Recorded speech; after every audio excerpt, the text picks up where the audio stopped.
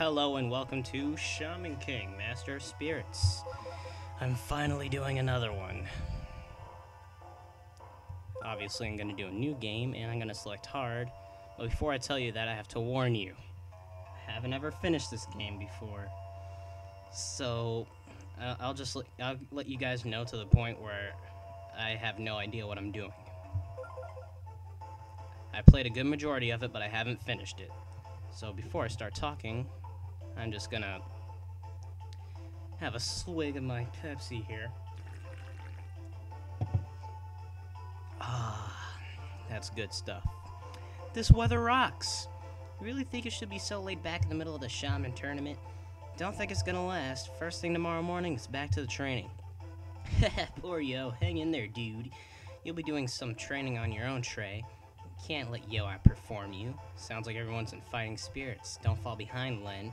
Who do you think I am? I never fall behind unless it's my strategic intention, which it's not. Either way, it's a foregone conclusion that I'm going to win and become Shaman King. Heads up, Yoh, we've got a visitor. Huh? Who are you? Is there an Anna Kyoyama among you? Maybe, depends on what you want with her. Who are you? So you're Anna. I've come for something you have, the Tomb of the Shaman. I'm going to take it from you. You haven't yet honored us with your name. Of course, the all-important etiquette of the samurai. My name is Magister. You can see Amidamaru, so I guess you're a shaman. I don't recall the name Magister being on the official tournament entry list. Enough, I'll see him off. Everyone calm down, he doesn't seem to be one of Zeke's men. Let's hear what he has to say. I have nothing to say. I merely came for the Tomb of the Shaman. And a bit of Pepsi. What do you want with it? I intend to bring Mephius back to life. Who? Don't ask me. Mephius, the guardian of demons? He was the winner of the Grand Shaman tournament a long time ago. 4,500 years, I believe. Winner of the Shaman tournament. Then he must have been Shaman King. What does all this have to do with the Tomb of the Shaman? Don't you get it? He wants to summon this Mephius person, but since Mephius became Shaman King, he's incredibly powerful. Master here will need the Tomb of the Shaman in order to control him. I don't intend to summon his spirit or use a medium to perform spirit control or even control him as a doshi like you would. I shall return Mephius to his former glory. He will live as he once lived, his spirit and his blood flowing in his veins. A true reincarnation. A true reincarnation. So you'll control all the powers of a Shaman King without having to become Shaman King. You could take on Zeke. We've wasted enough time talking. Hand over the Tomb of the Shaman. Dream on. You leave me no choice. Using force isn't really my way, but stay away from Anna. Uh-oh. Music's getting crazy. You refuse to part with the tomb? Anna, you mustn't let him take it. Yoh, here, the Sword of Light. Gotcha. That's your plan. Oh, there goes the sword. Ryu, don't! If you pull too it'll... And there goes the book. Curses, the pages have been scattered. I must find the page that explains the secret art at once. Hold it. He's quick to flee. The tomb of the shaman's been scattered all over. Gotta collect the pages and quick. Leave it to us, Miss Anna. We shall collect the pages for you. I'll check out the Shinto shrine with Takagero. Master Yoh, use my spare wooden sword until you find the Sword of Light. A wooden sword is better in battle than an empty hand. No kidding.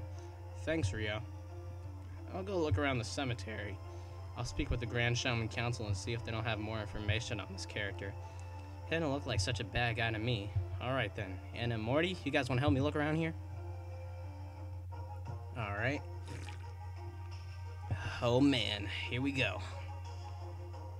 Now, this is the only path that you can take because these three other paths have something wrong with them.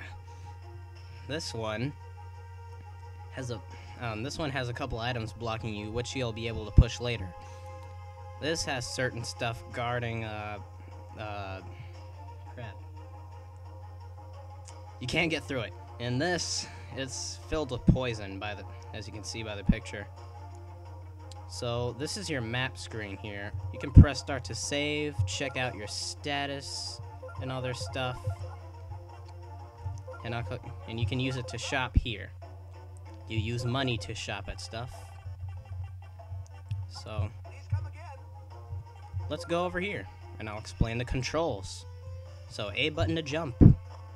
A um, hold the A button to jump higher. Press the B button to swing your sword. Press the B button three times to do a triple swing combo. Holy crap. And you can also do that in the air. Now, L button you can't use yet. Um, use select to switch your decks, which I will explain later. And uh, R button. A meet you. Ugh. The L and R buttons are what you use to summon the spirits that you've uh, got assigned to it. So right now I only have the R button and Amidamaru in it. So if you run out of Furyoku, which is that blue gauge to the left, you'll get a huh? And then you can't be able to use it. So that yellow gauge up there is my life, obviously. Here's your status screen. I've got absolutely nothing done. Here's a spirit unity spot. This is where you assign spirits to the R button. You'll be able to use the L button a little later. And you'll be able to do other stuff. So control pad to move, down to duck, and the, look at that, it's our first enemy. Holy crap. So item screen. Alright. These boxes here you put your food and antidote in. You're gonna be needing a lot of them later. Especially if you're a first timer with this game. Eat that and that. Enemies will try to touch you a lot in this game, and if they touch you, it hurts. So stay away from these perverts here.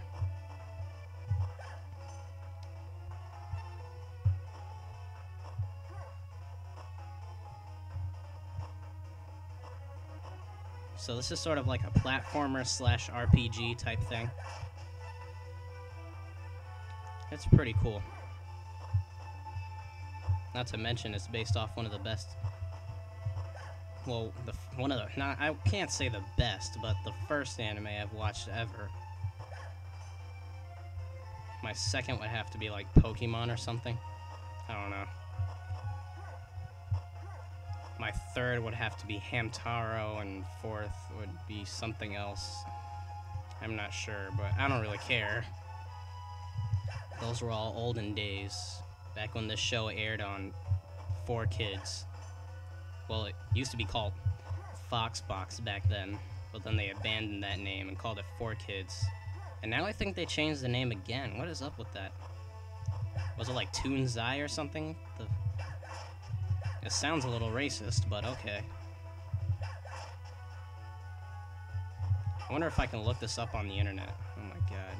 I feel like watching this show again. You don't know how long it's been.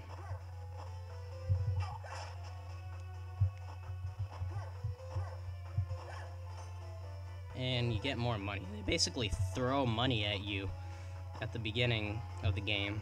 So you can just collect as much of this crap as you can and make sure you save up.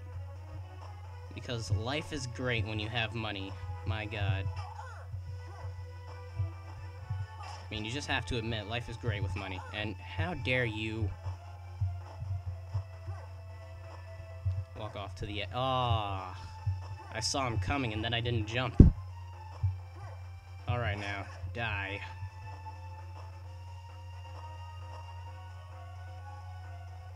So that's the end of this level. Let's check what's down here first, before we move on. Here's a humongous totem pole. You can't go across it. You can't go through it. You can't go around it because it's a 2D platforming game.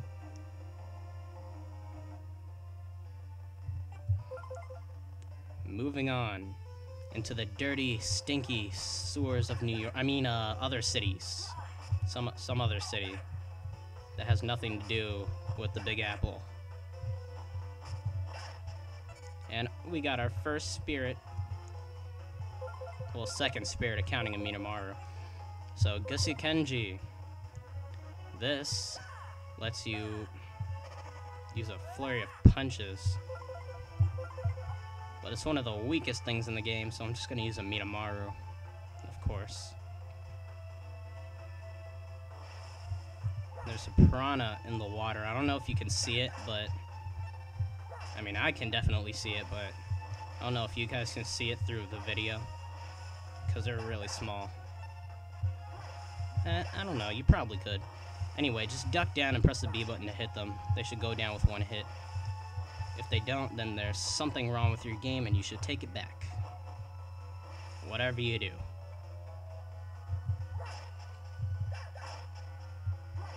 Ah, here we go. Magatama bead. They're sort of like heart pieces in this game, Magatama beads.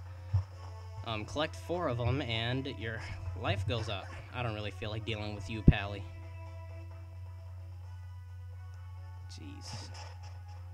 Rocky Balboa looking dude. Anyway, well, he doesn't look like Rocky Balboa. I'm, I'm being stupid. Okay.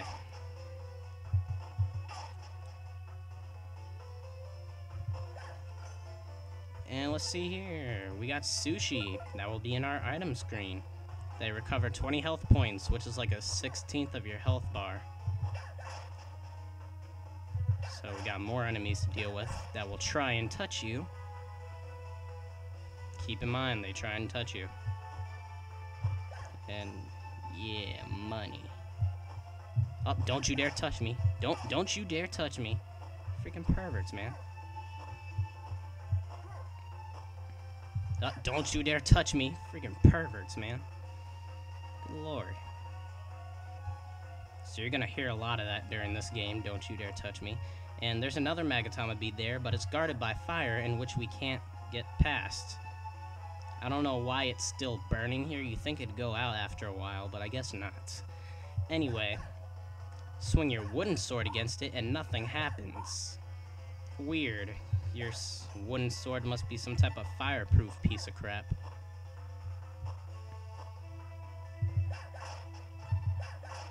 But don't worry, we'll get better stuff. Much better stuff. Whoa! He touched me and he's dead. Freaking perverts. Oh, here's Mega Pervert. Here, look at him. He looks like he looks like you're after I don't know. He just looks like the public flasher, okay? Oh yeah, I didn't even tell So we got a new spirit from him. Its name is Chimi Morio. If I'm pronouncing that right. So while I'm waiting for that platform, so more fire here. So what Chimi Morio does, you just you throw a ghost at them to slow your enemy down. They do one damage, but of course they just slow it down. They use up pebbles. Pebbles are the little sphere rock things that you see me pick up from enemies, probably in this game. If you haven't, then you should go back and watch closely. I mean, you just get them from enemies, and they're... I pick them up really fast, so it's probably hard to catch. Anyway, Magnascope. Alright. I pressed the wrong button. Magnascope, you just use it to look around. It's not anything to get excited about. Oh, jeez. This guy is way easier than I remember him being. I remember dying from this guy every freaking time. Because I just didn't know how to get close to him. Probably because of those ghost things. Oh my god, he touched me. Well, sort of like I touched him, but it was an accident. It's what it's what you call sexual her accident. Okay?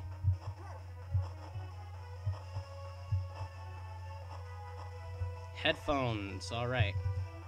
These. Um, headphones, um, open up this thing. You can assign a spirit to it, but not any spirit that you use to fight. Um, you can uh, assign spirits that, like, uh, increase your status or something like that. Like, let's say I get a spirit that makes me more resistant to fire, I'll just assign that to this and boom, and that's basically it, so. Just think of it as badges in a Mario, in a Paper Mario game. Something like that.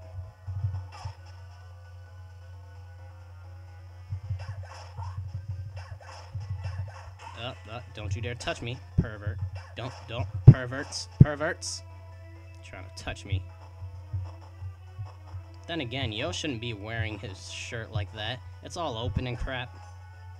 And he's wearing sandals. He's got a terrible getup he's got going here. Terrible getup. It, it, it could attract any pervert out there. Showing off his chest and his belly. Look at him. So I think some of this is a little bit of Yoh's fault. So there's Samurai over there. Don't worry, you won't die here. you'll just collect money instead. Yeah. Why die when you can have money?